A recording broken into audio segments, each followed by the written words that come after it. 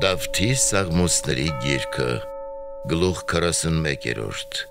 Այսուհետև Կորխի որդիների իմաստությունը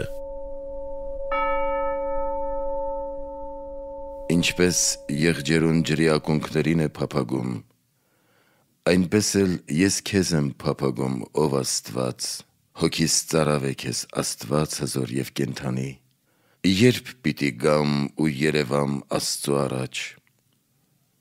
Գիշեր ցերեկ իմ արցունքներով սնվեցի,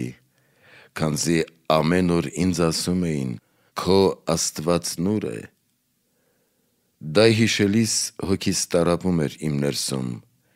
բայց քաջալերվում էի, որ պիտի մտնեմ Աստծո տան սքանչելի հարկի տակ, ցնծության ու օրհնության ձայնով եւ ձայնով բարեբանության։ Արդ,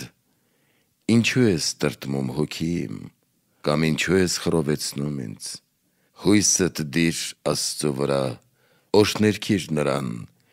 իմ անձը փրկողն Աստված է։ Հոգին իմ խիստ խռովվեց, դրա համար քեզ հիշեցի Հորդանանի երկրից ու Հերմոնի փոքր սարից։ Անդոնդից քեզ կանչեցին քո հորձանքների ձայնով, քո բոլոր կոհակներն ու ալիքներն անցան իմ վրայով Ցերեկը Տերն իր ողորմությունը հաստատեց, գիշերը նոր օրհներկություն։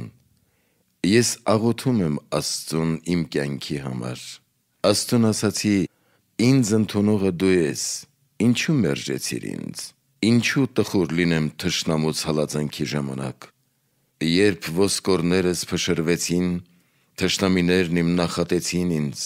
ամեն օր ասելով. Քո Աստվածն ուր է Արդ,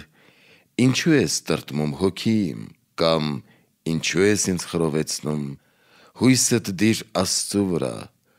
օրհներքիր նրան, իմ անձը փրկողն Աստված է։